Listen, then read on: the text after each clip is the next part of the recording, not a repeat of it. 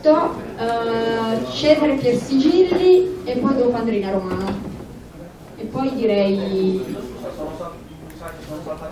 Eh, uh, sì, sì, scusa, sì, dopo, dopo Cesare Piersigilli. Io dopodiché se voglio no. fare la presenza dell'amica romano, con piacere. No. Dobbiamo farne due, poi vogliamo riprendere perché vogliamo fare una pausa pranzo perché sennò non... Eh, sì. Buongiorno.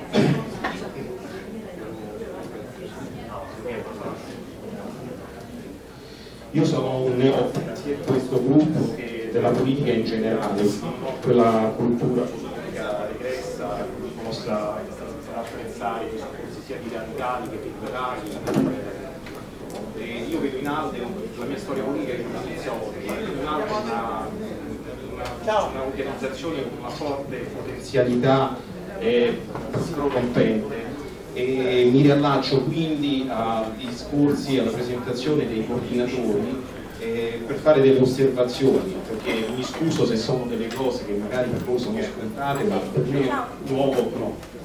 Eh, nelle tematiche che andranno affrontate ho visto una, diciamo, dovuto senza dubbio alla, ai tempi, alla consistenza dei tempi, eh, la mancanza della politica estera. Io penso che la politica estera a livello di ALDE come partito europeo sia essenziale perché sviluppare delle idee, delle linee fondamentali di politica estera vuol dire gettare il cuore oltre l'ostacolo, vuol dire già pensare come partito a un'Europa federale e l'Europa federale è l'unica, è l'unico futuro che ha l'Europa.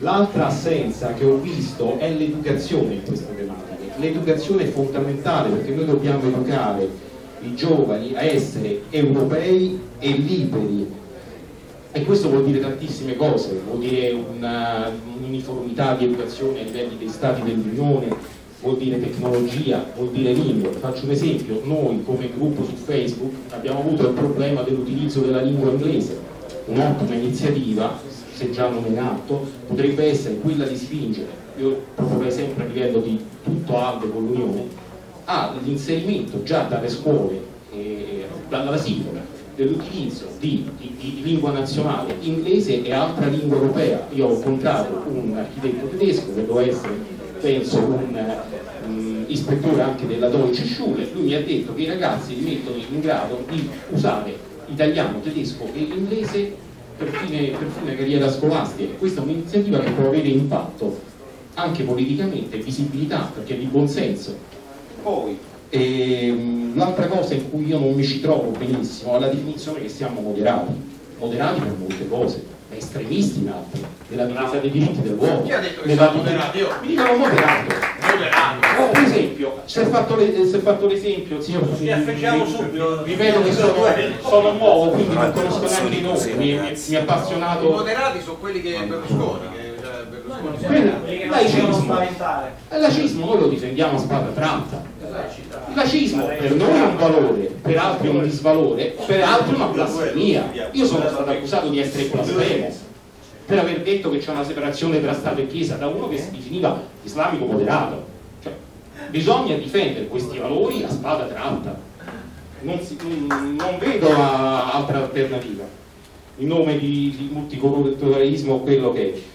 È giusto, importante eh, è stato accennato al fatto del crowdfunding e anche della comunicazione, che saranno molto importanti perché dobbiamo anche acquisire una forte visibilità.